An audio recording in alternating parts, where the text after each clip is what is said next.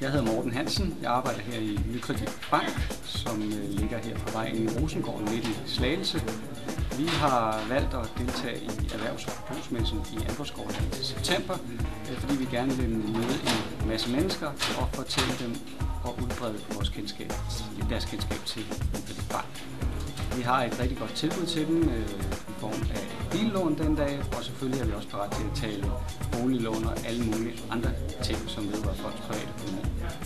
Derudover så glæder vi os til at deltage i øh, de networking-øvelser, der er øh, planlagt ude i øh, hallen, og øh, det vil sige, at vi glæder os faktisk til at møde en masse virksomheder og en masse forbrugere og almindelige kunder. Øh, vi glæder os til at se dig den 14. og 15. september.